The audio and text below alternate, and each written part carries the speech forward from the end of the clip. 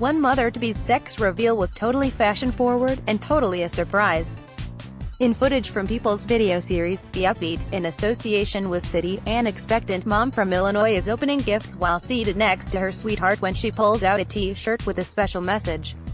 She holds up the shirt to read the words, Blessed Mom, printed on the garment's front side, before quickly turning it around to show the top's design to her guests.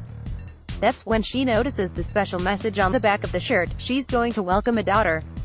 Related, romantic boyfriend surprises his girlfriend with an unbelievable mountaintop proposal everyone in the room erupts in cheers, and the beaming woman holds the shirt up to her face as she lets the happy news sink in. After friends run over to give her hugs, the woman turns to her boyfriend, who also seems to be emotional about the news, and they share an extended embrace. Yay! I'm so excited, a friend yells in the background.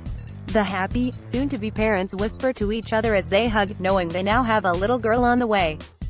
My first pregnancy. Our very first child for both of us, the woman says of the video, filmed on April 15 in Crete Township outside of Chicago. My family and my boyfriend's family revealing the gender of our baby in their own creative way.